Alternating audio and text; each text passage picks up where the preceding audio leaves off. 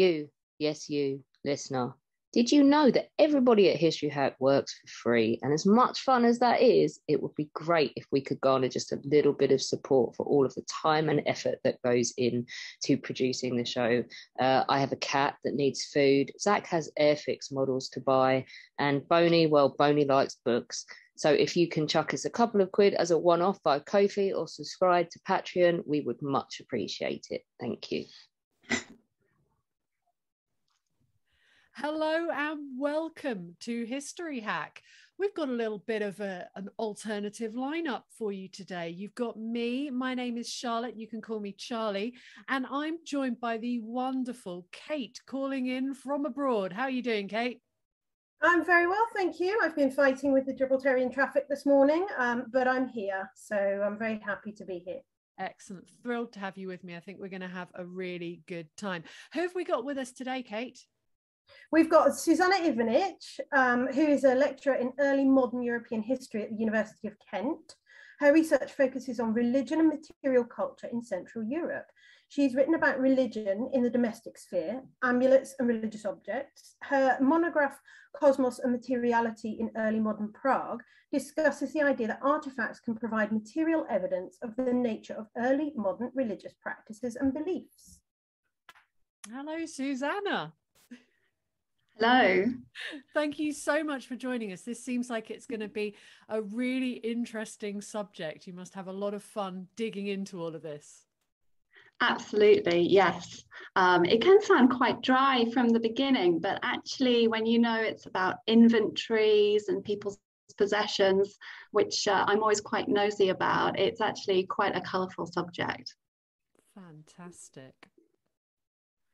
So, um, Prague went through an enormous transformation, didn't it, in the 17th century? How did people experience these changes, kind of on a day to day, on a personal basis, like you say?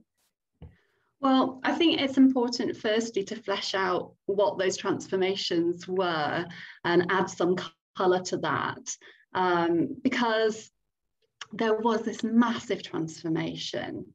Um, and it, it will help us kind of understand what people living in Prague must have experienced in the 17th century. So, firstly, when you think of Prague, uh, you probably think kind of Eastern Europe, but actually, it's useful to realize that it's actually west of Vienna, about 150 kilometers west. So, it's quite far from Ottoman threats. It's quite safe. It's quite in the in the center of what's going on in Europe. And in 1600, it was the seat of the Holy Roman Emperor Rudolf II.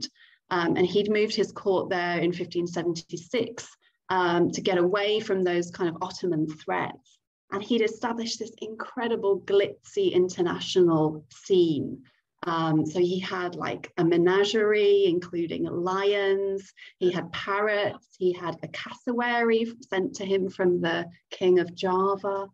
Um, and he collected all these objects and uh, pieces of art. So he's kind of known as a recluse, but actually has this incredible um, dynamic court full of artisans um, and uh, alchemists and so on, and kind of scientists of the time.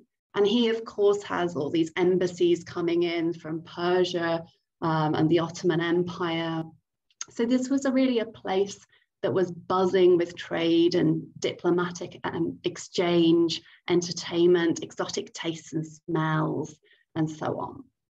But it was also pretty religiously tolerant.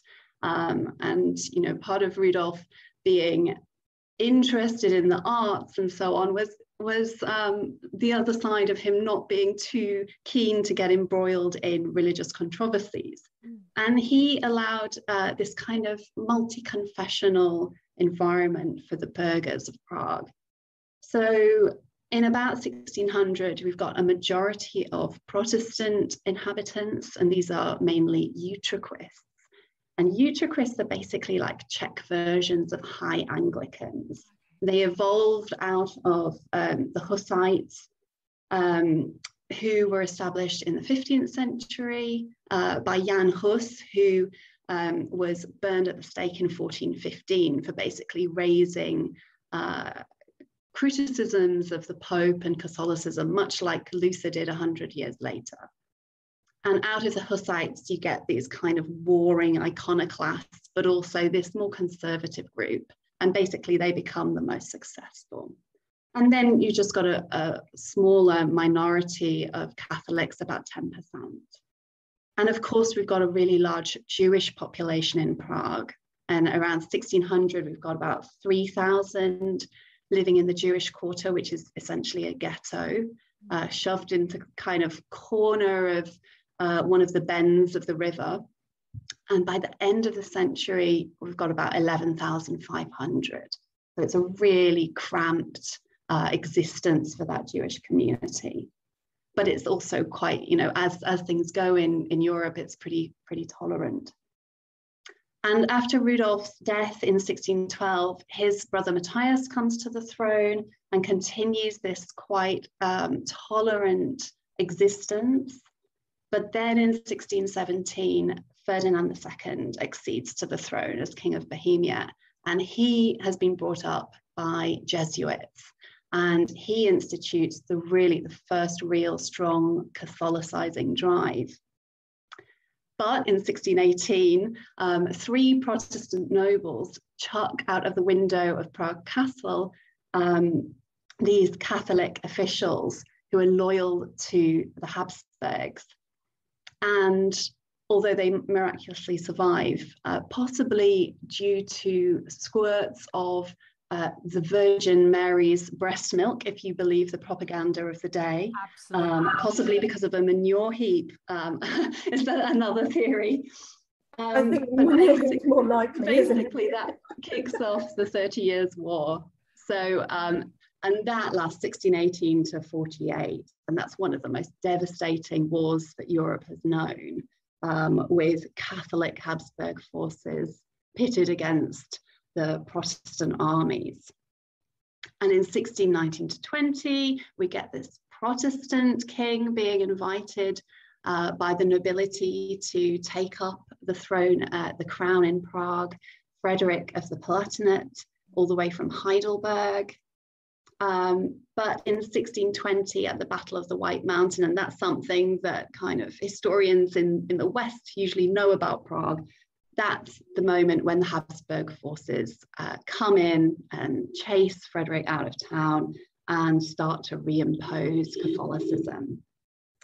So from that moment, Bohemia and Prague experiences this official recatholicization uh, with Ferdinand II, and then from 1627, um, uh, his son Ferdinand III imposing this, these really strict rulings confiscating land and, and uh, expelling Protestants and so on.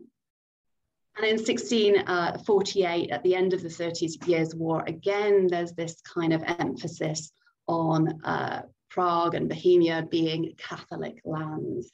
So the Protestant challengers had been defeated, although actually in 1648, Swedish Protestant troops are still in Prague looting uh, remnants of Rudolf's collection uh, from you know half a century earlier. So you know this is incredible stuff that's happening.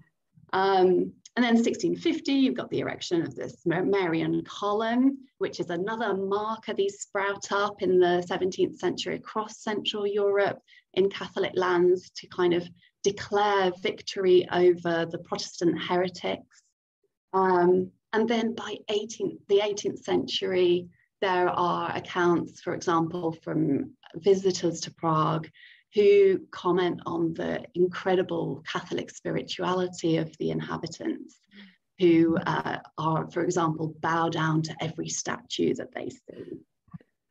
So that's a real gallop through the 17th yeah. century. and you can see this transformation, but you know, how is it experienced? That's the, the question here. Surely everyone noticed those huge confessional uh, pendulum swings. But on another level, did the battles and power struggles that concerned those elites of Europe fundamentally change the way people engaged with religion and belief and beliefs about their environment in a, a sort of everyday way? And that's my interest exactly about how beliefs interact with the material world around people and the cosmos at large. Um, and cosmos here is, is uh, the definition of it, a kind of loose system of correspondences between material and divine within the entire physical and spiritual universe.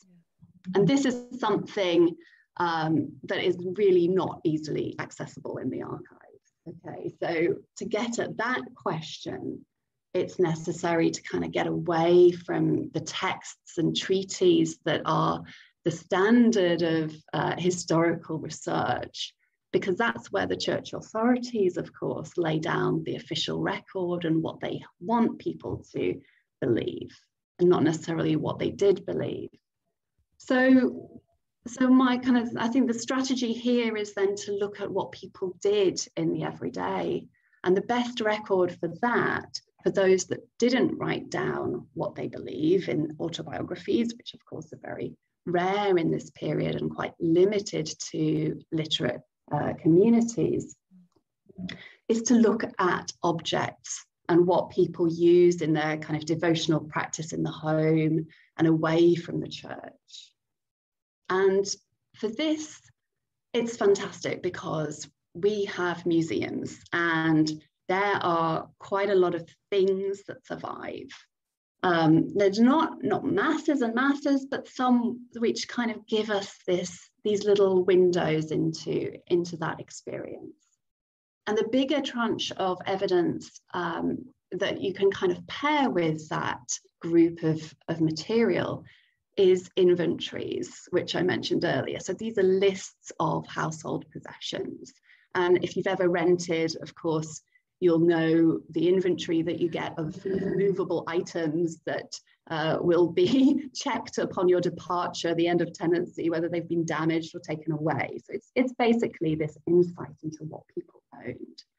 And basically, it's great because you get to see, you get to kind of nose around people's possessions and think about what they spent, often quite small amounts of money that was available to them on. And secondly, it gives us that glimpse into lives that are otherwise completely lost to the historical record.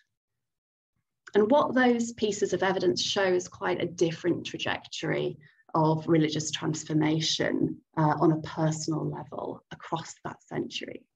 So, in kind of three broad brushstrokes, firstly, up until 1635, which is around the middle of the Thirty Years' War, we find very mixed possessions. And by that, I mean you get things like paternoster rosary beads and crucifixes, which are generally taken to be markers of Catholic devotion and identity, being kept alongside Lutheran sermon books, so Catholic and Protestant together. Secondly, and despite this official kind of Catholicization that happens from 1620 when the Habsburgs win the Battle of the White Mountain, it's only really in 1670 that we see possessions that uh, regularly kind of cluster around confessional identity um, and that would be termed more obviously as Catholic in the inventories. So there's a, a 50 year lag basically. And thirdly, finally, throughout the, the period, there's a constant mixing of these kinds of typical religious objects with objects that seem pretty unorthodox. So, amulets made from teeth or semi precious stones, for example, suggesting that everyday belief is much more heterogeneous than this idea that um, you have a clear split between confessional identities, Protestant or Catholic and this is you know even a hundred years and more after Luther posts his 95 theses on uh, the Wittenberg door. So Prague burghers' spiritual worlds were embedded in their natural environment and social relations as much as, if not more than, those confessional identities in the 17th century. Gosh, I mean, that, that's such a rip roaring journey through a big amount of time.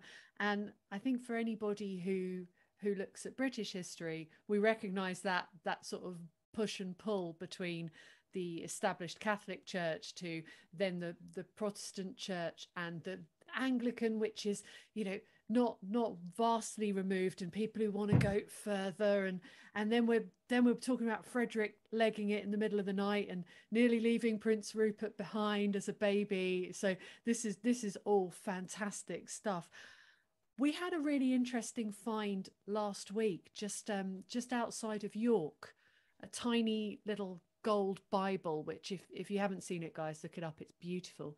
Can you describe some of the typical religious items that, that people would have had at this time and things that we're finding today? Yeah, I mean, the Gold Bible is fantastic. It's just these are just little kind of glinting gems in our in our historical record. It's fantastic to see. Um, but I mean, at the heart of this question is, is this other fascinating question, which is what a religious object is. And most obviously, they are things like those tiny, uh, tiny Bibles that you might be able to kind of have in a pocket, uh, devotional texts, devotional images, and also jewelry that, especially in the Catholic religion, uh, are kind of used as tools to focus the mind on prayer.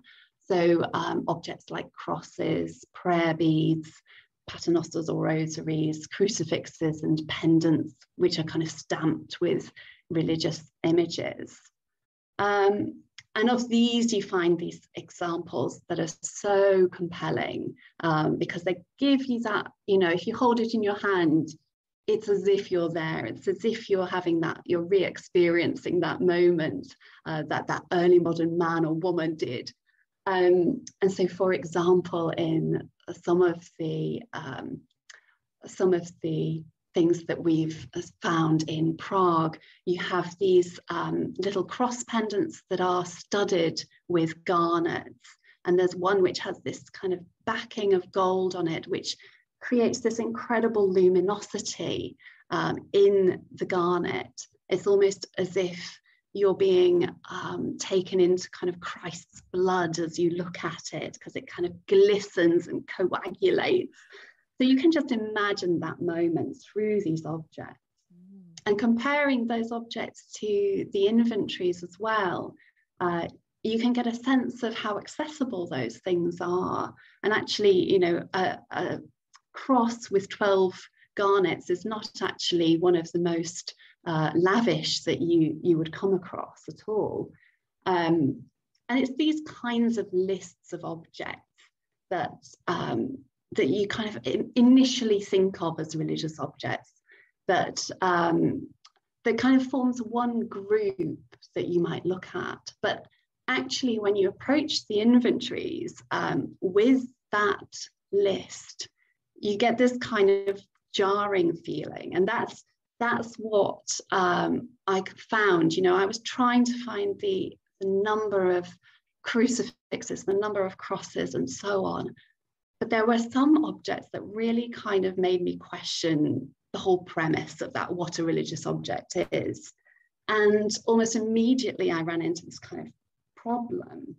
And uh, one that got me early on was this inventory entry from 1600 for a set of prayer beads with a wolf's tooth and two lynx teeth, which coincidentally was also kept in a, a household alongside Lutheran texts. So, coming from a 21st century perspective, this combination of kind of Catholic sensibilities, Lutheran devotion, and kind of folk belief was really problematic and, and didn't make sense. And actually, it's not untypical to find that sort of uh, collection of objects. Um, and prayer beads in particular would be strung together with these amulets, or they would be made from uh, matter like amber, jasper, or coral, which were thought to have these kind of powerful uh, properties.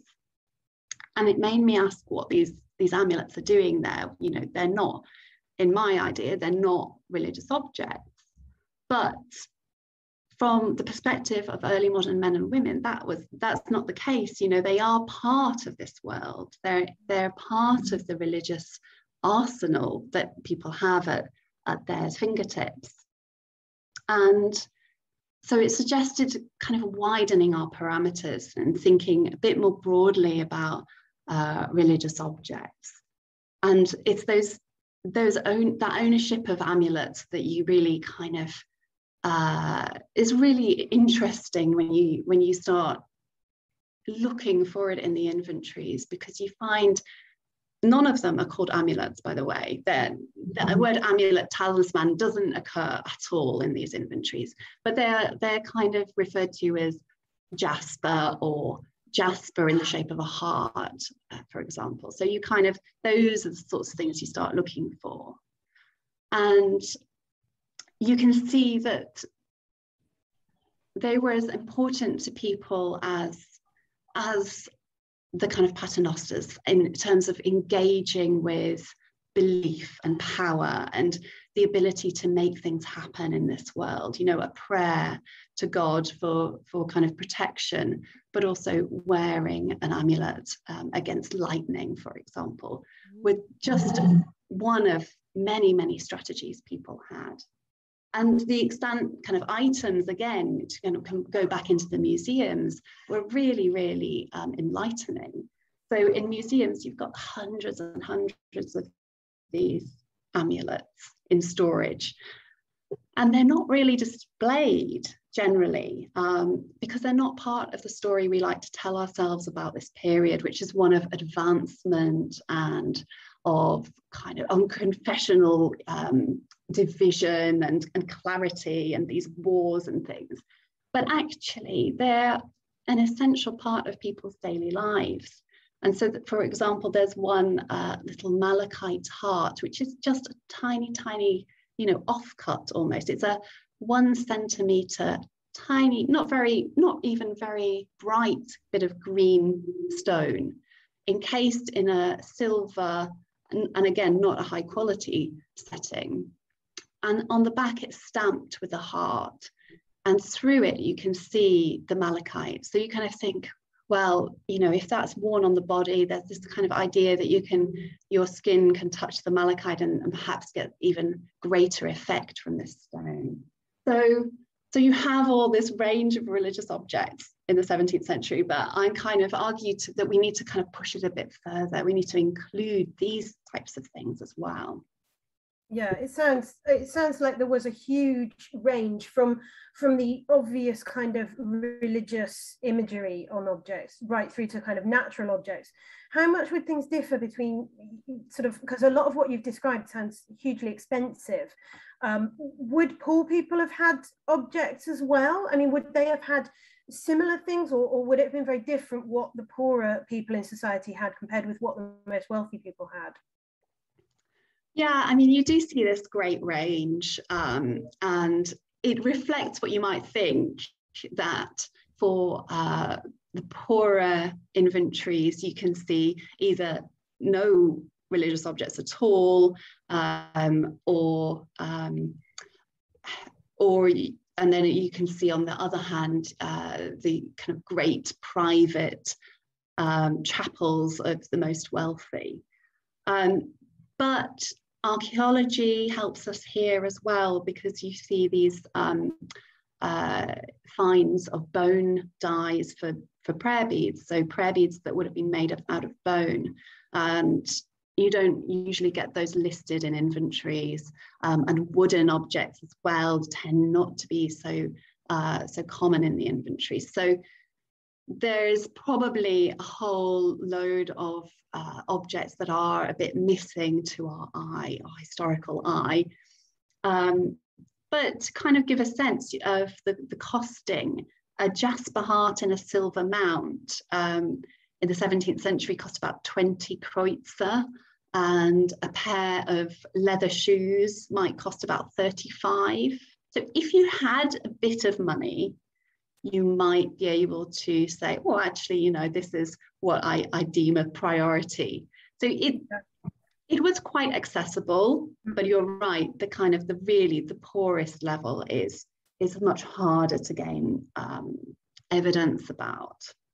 Yeah it's certainly more accessible than i i would have uh, expected for sure yeah. It's uh yeah you've got to get your priorities right you're going to have the amulet or your shoes. But then you know you you're almost selling this to me above shoes and i love shoes because you're talking about some of the the the powers behind these objects and their abilities to protect you against certain negative effects. Can you tell us a, a, little bit about these superstitions and where where they came from? Yeah, well, they've got a really, really long history. Um, they are certainly pre-Christian and, and harking back to ancient Egypt. Um, but one of the key texts in the development of those beliefs is uh, Pliny the Elder's Natural History from about 77 AD. And in that, he puts together all the kind of known knowledge about the powers and virtues of natural matter. And this text is uh, printed and circulated quite popularly in the early modern period. Um, so, how we coexist with our surroundings has been a constant kind of theme of interest in humanity. And um, you know, we have thousands of years of feeling that we're part of this broader cosmos in which there are kind of sympathies and correspondences that we can that we can uh, try and kind of control one part of our lives by manipulating another. Um, and it's also at the beginning of this uh, period in the early 16th century that uh, Paracelsus formulates this further by kind of defining the microcosm of the human body and the macrocosm of the universe. So, so this idea um, that we often have of this period as being one of disenchantment is really erroneous. Um, you know, it was set forward by Weber that we've got this uh, increase in rational thinking that's kind of led by Protestants um, but actually, when you look at the 17th century uh, evidence of, of what people were doing and believing and, and even writing about, disenchantment is really a kind of a touchstone for daily life. Okay, so what effect did the progression um, of, of scientific research have on kind of the significance of these objects? Did it did people's did people's views change? Did they change the way they the way they valued these items well i mean science is a really problematic term for this period and it's essentially anachronistic. Um, so we should really be talking about natural philosophy and natural philosophers. Um, but I think we we all agree that there's this kind of massive advancement um, in knowledge about nature, but it's something that's still completely intertwined with ideas about natural material having these specific virtues and powers. So part of the story of that advancement is that uh, people were, were really starting to engage with nature and manipulate it um, in, in kind of more and more advanced ways that um, that were kind of privileged almost to religion. So being able to uh, manipulate nature, to do experiments on it, to make objects out of it, including artisans, um, were quite close to God because that, you know, nature was uh, set in motion by God, nature was created by God. So your ability to kind of engage in it as a natural philosopher um, was, was part of a kind of religious realm. And this includes, um, mentioning it, um, artisans who, for example, make these uh, life casts out of lizards and so on to kind of stick on writing cabinets and inkwells and stuff like that. Because you think about it, actually, doing a life cast out of a lizard is, is quite tricky. So, you know, you have to have um, understanding and knowledge about how to keep these animals alive, um, how not to kind of lop off one of their claws before it comes to putting them in their kind of furnace. So, you know, you really have to know about nature. so ex experiments and writing about methods and recipes and so on is all connected with God's world in this in this way. Um, so actually seeking to understand nature is this, this very elevated and godly job. Um, and while the product byproduct of all that advancement is the kind of roots of what we know of as science, um, in the 17th century, it doesn't really change those beliefs. It rather kind of seeks to interrogate them. Um, and you get things also like in, in inventories, again, you can find this. Apothecaries who own like agate pendants or surgeons who own crystals alongside all of their kind of cranial saws and things like that. They also figured out it seemed that, that this was the moment when they they decided that that if someone is looking into manipulating nature and understanding nature for, for benefit, if they do this and they're a man, they're a natural philosopher. If they do it and they're female, they're a witch and they're going to be burnt. But but all of that aside, I mean, I, I just find it absolutely fascinating through the inventories and what what you've what you've learned and what you've studied. Do you see any similarities in the relationship between a person and their environment across religions? Absolutely, yeah. I think so. I mean, there are two two issues at stake here. Um, I'd argue there's not a great deal of difference between confessions between Protestant and Catholic. Um, so, um, especially in terms of devotion in the home. Um, so that's you know that's one area is is just thinking to what extent people are uh, carrying out their religious um, duties in this domestic sphere. And the Protestants have kind of laid claim to the home as a site of devotion. You know, as they shut the monasteries in the in the 16th century, then you know where does all that spirituality go? It goes to the home. But actually, the Catholic um, story is is equally domestic.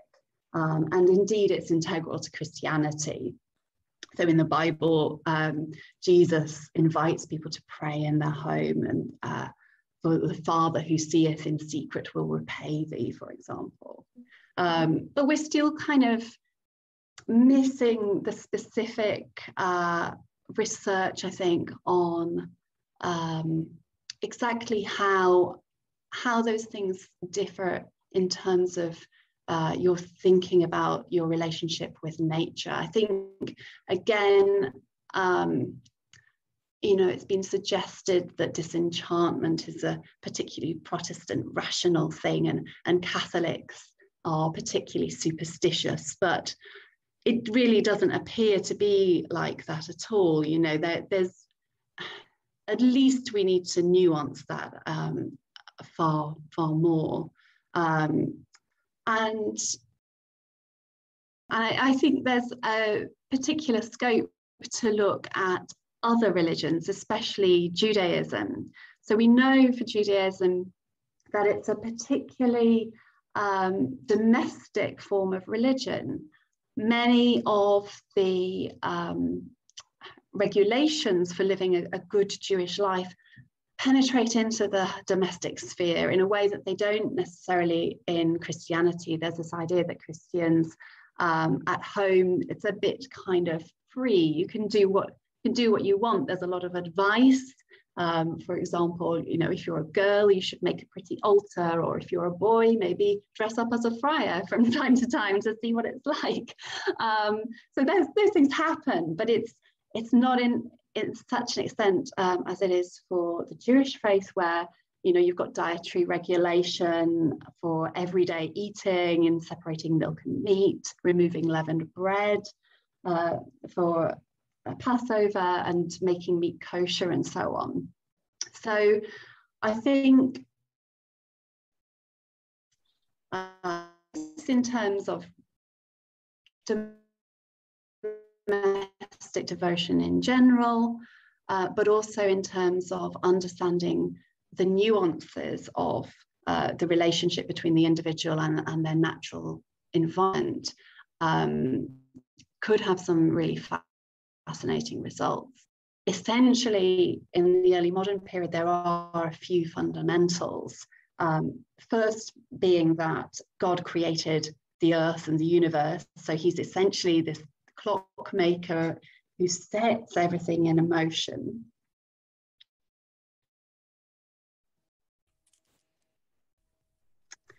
Secondly, is the, so in the great chain of being, you've got God at the top, angels, humans, animals, plants, and animal and minerals. And all religions kind of essentially map onto that. And all natural philosophers, being religious men, as you said, primarily they are men, develop theories that are in line with that and have that in the background. So yes, there are similarities across different religions that, that hang on to that framework.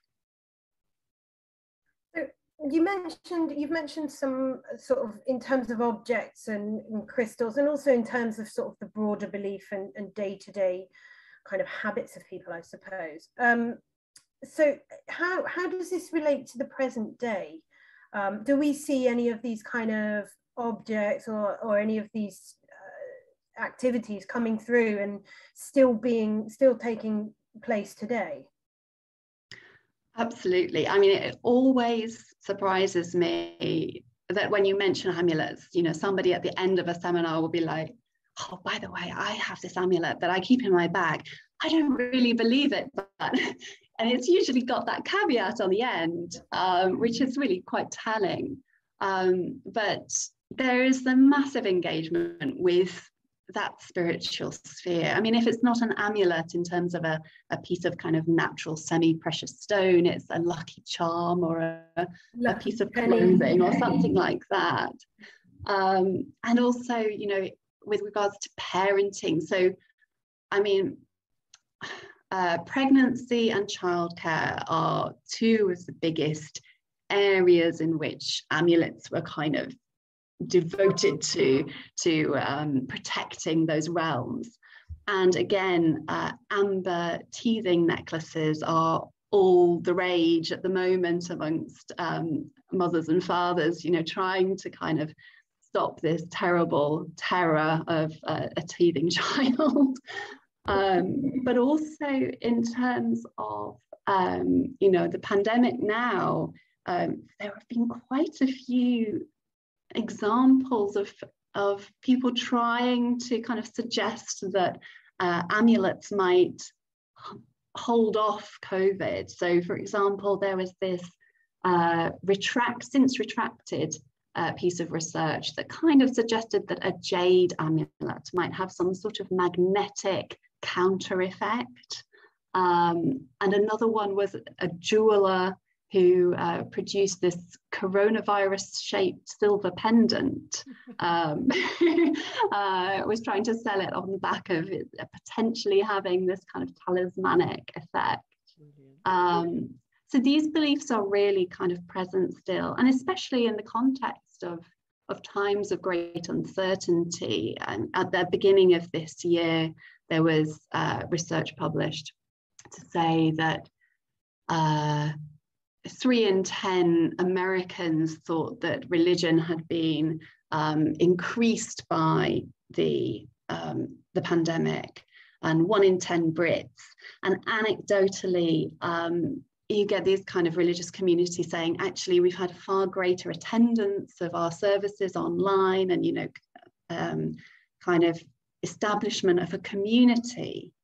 So there are all these elements in which those beliefs really do kind of continue. But I really, I wonder how and whether these views on our relationship with our natural environment will change, especially in the light of uh, the climate emergency. That framework that I, I talked about of the early modern period where, where humans are in this kind of place of dominance, with such certainty they believed that that has all been eroded, of course, and particularly in the last few decades, we see the destruction that humans have wreaked on the earth, but also what the earth does to humanity in response and how weak we are in the face of fire and flood and so on. And we have also this um, kind of view of big history and deep time that's forwarded by David Christian and supported by Bill Gates, where human existence is a mere blip, really, in, in the long history of the earth. And it helps us to see our, our place here as very fragile and fleeting. So, in the everyday, how does this translate to shaping our beliefs? Um, you know, we we already see Chinese medicine, for example, as controversial in the West, using animal matter um, and kind of precious natural objects for healing, which has cent- uh, centuries of, of tradition behind it, but it's really problematic when we're thinking about natural resources today. And do we think about amulets and uh, the jewelry that we wear in the same way? um, none of those practices are really kind of sustainable in, in this current uh, way that we think about the world. So I think depending on our beliefs and prosperity and culture, that people will tweak how they interact with the natural environment. But having said that, we're still kind of desperately searching for things to believe in, like that great belief in science ways in which we can control the onslaught of those dangers and anxieties that we face in the everyday as part of our existence. And that I think won't change. That's so interesting. Suzanna, one last question before we wrap up today. Do you have an amulet or something that you carry around with you and that you you have in your corner? Well, someone gave me a hagstone the stones you find on the beach with the little holes in them um, when I launched my book. So that is now mine, and I'm very proud of it, and it sits on my computer. Fantastic. Kate, do you have anything? No, I think that was, yeah, really interesting. And I, I love the fact that we're still using methods uh, to, to prevent or ease suffering that we've been using for thousands of years. And despite modern science and everything else, we're still putting amber necklaces on babies to help them with their teething pains. I think it's brilliant. I, that's it. an interesting point, Kate. But what I really want to know is do you have an amulet? No, not really. I have lots of different things that are very personal to me in my house, but I don't have any one thing that I carry with me or anything like that. No. Amazing. Well, I'm unable to pass a single magpie. Um, so Lord help you if I'm I'm driving and, and I see a single one. Suzanna, so the question is, do you have an amulet? Do I have an amulet? Um, I've got a rosary. I have a rosary necklace that I got at the Vatican from one of those little um, shonky stalls outside, which I quite like when I'm when I'm feeling feeling concerned. That tends to come out, but uh, other other than that. I'm uh, no, not at all suspicious at all. I don't have to make a new moon list every new moon. Suzanna, thank you so much for coming and joining us. Would you tell us where we can keep in touch with you, where we can follow your research, and uh, yeah, after the show? Absolutely, yeah. What do you mean? Sorry. Also, where where we can keep in touch with you after we've finished listening? Yeah, you can uh, find me on my uh, website, uh, but also on Twitter at Suzanna Ivanic. Fantastic. Thank you so much. When our guests join us to talk about their work and their new book, the 45 minutes or so they spend with us is just a taster of all their efforts. So, to this end, we have launched our very own bookshop on bookshop.org where you can find our guests' latest and greatest books. You can support them and you can support History Hack too. 10% of every sale via our bookshop supports the podcast and allows us to keep at it and bring you more amazing guests. You can find our bookshop at bookshop.org forward slash shop forward slash history hack or just search on bookshop.org for us under the shops bit. Thank you for your continued support, and here's to your next great